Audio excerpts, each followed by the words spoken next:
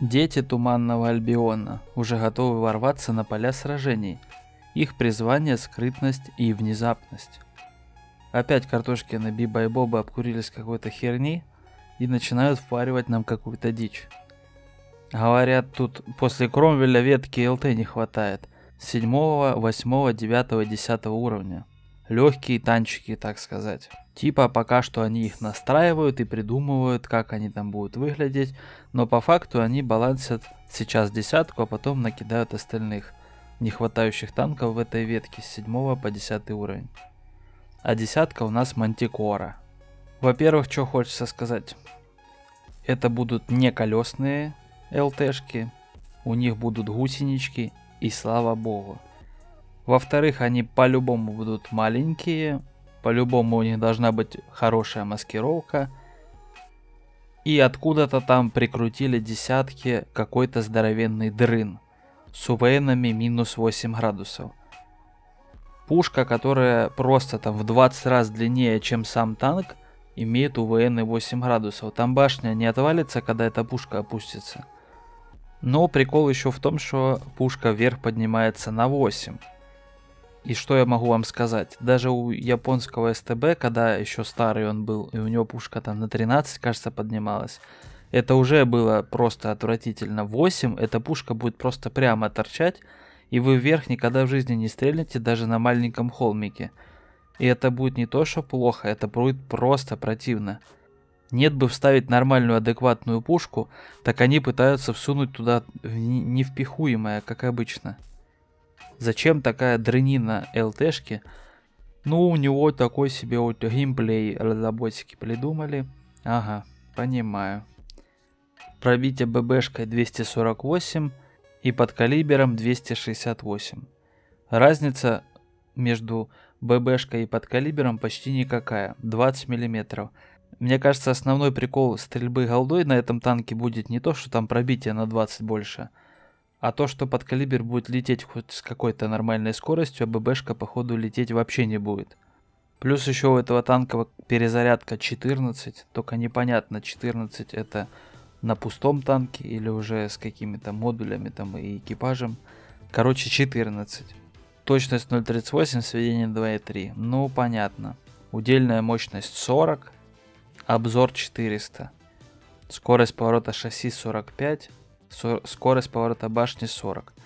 Ну, в принципе, понятно, что эту ЛТшку там накручивают какими-то невероятными параметрами и пытаются забалансить вообще неизвестно чем.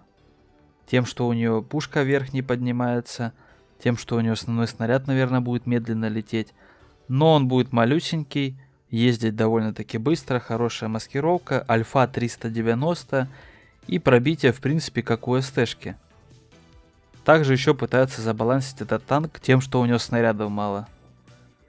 То, что этот танчик скорее всего получится каким-то интересным, возможно, и необычным, это да. Но нужен ли он в игре, да сомневаюсь.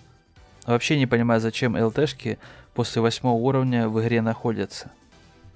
Если открыть любую новость про новые ЛТ в картошке, то самые залайканные комментарии везде будут про то, что у картохи проблемы с ЛТшками и в боях их много, а картошка вводит еще ЛТ. И это каждый раз, когда картошка вводит новые ЛТшки. ЛТшек все больше и больше, их там уже по 5 штук очень часто на одну команду. Они там на первой минуте повзрываются, полопаются, все, пол команды нету. Остальные полкоманды это ПТшки, которые друг друга ваншотят. И в итоге по полтора тяжика и по полторы СТшки с каждой стороны думают, а как в это играть?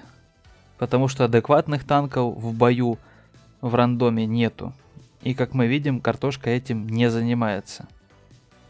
А им бы, разработчикам игры, просто взять бы и поиграть в свою игру. Да не просто там сыграть два боя за месяц, а нормально так поиграть по пару часов в день. И они бы сразу начали понимать, в чем действительно проблема в игре. И начали бы понимать, что действительно просят игроки. Потому что сейчас старым игрокам, которые давно начинали в это играть, вообще непонятно нахрена эта игра существует. И старые игроки уже бросают и поуходили уже, я даже не знаю, кто там. Никто и не играет в это. В рандоме остались одни да красненькие, да максимум желтенькие. Там никого даже не найдешь в игре, с кем поиграть-то. Мне вообще непонятно, зачем в этой игре находится балансировщик. Он ничего не контролирует. Абсолютно, он просто берет и накидывает все, что есть. Играть в те бои, которые собирает балансировщик, вообще не хочется. В игре реальные проблемы у тех людей, которые понимают, во что они играют, потому что они в это играют давно. В то, что сейчас балансировщик собирает, играть вообще не интересно. Пол команды ПТ, ЛТ и арты это вообще не интересно. Было бы вообще офигенно, если бы ЛТшек, арты и ПТшек было как можно меньше. Но картошка последние пару лет очень сильно продвигает количество ЛТ. Я вообще не понимаю, куда они стремятся. Люди, которые играют на ЛТ, они не играют аккуратно, они плохо светят, они чаще всего просто умирают, либо ничего не делают. Они просто не нужны. И такое количество ЛТшек, тем более, оно ни к чему хорошему не приводит. Большое количество ПТшек. Раньше в рандоме было много ПТшек, картошка понерфила ПТшки, там ХП поотрезала, еще что-то. Прошло время, ПТшек стало еще больше, картошка ничего не делает. ЛТшек стало много, картошка ничего не делает, только еще больше добавляет ЛТшек. На десятках вообще, я не знаю, это самый конченый уровень, даже ничего не хочу говорить за это. Я просто не играю на десятках. Да, можно приспособиться под любую игру, но играть неинтересно, даже если приспособишься. А вот эти знаменитые дни, когда у всех поражения, в один и тот же день просто у всех 20% побед. Раньше такого не было. Раньше, если раз за месяц там где-то был день, когда у тебя очень там плохой процент победы и просто не перло. Это был какой-то невероятный день, и ты про него говорил, там вы вместе с друзьями общались, говорили, вау, какой, типа, нихера себе день, там вообще побед не было. Сейчас неделю побед нету ни у кого. И типа, ни, ну ничего не скажешь, потому что у всех так, игра такая, типа. А почему так? Да потому что это просто неконтролируемый бред. Как можно контролировать, когда у тебя пол команды ЛТ, носятся, умирают там. Пол команды ПТ стоят в кустах или едут куда-то. Еще сверху там арта, которая навозом кидается в друг друга. И люди, которых можно контролировать и понимать, как в это играть, практически нету. Ни на тяжах, ни на СТ. В это вообще невозможно нормально, адекватно играть и контролировать. Это просто бредятина какая-то. Остается только делать одно. Заходишь, играешь пару боев, пошла игра, играешь. Не пошла, не играешь. Статистика в картошке за последнее время напоминает из себя такое вот, лично у меня. Несколько дней по пару боев я играю с процентом побед 20, потом какой-нибудь день я играю 20 боев с процентом побед 80. Потом опять несколько дней процент побед 20 по пару боев я играю. Потом опять 20 боев с процентом побед 80. И все. Либо ты играешь пару дней за день и не сливаешь процент побед – либо если пошло, играешь сколько влезет, пока не перестанет переть. Это ненормально вообще. Игра должна приносить удовольствие, ты должен в нее играть столько, сколько хочешь и когда хочешь. Ни для кого не секрет, что World of Tanks вообще не приносит почти никому удовольствия. Это просто мусор, в который играют по привычке или потому, что там куча каких-то конченых танков.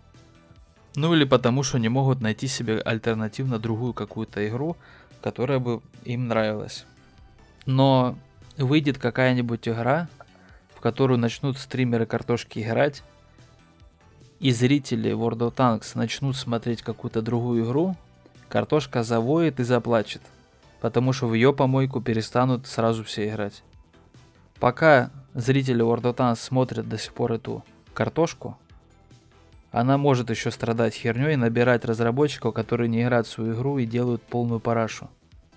Последние пару лет в картошку играть вообще невозможно. И по тем патчам, обновлениям и действиям, которые делает картошка, видно, что она вообще не слушает, не видит и не хочет слышать своих игроков. А разработчики занимаются чисто своими делами. И близко не интересуются, что там у игроков и что им надо. С вами был Варчик, играйте красиво. Пока.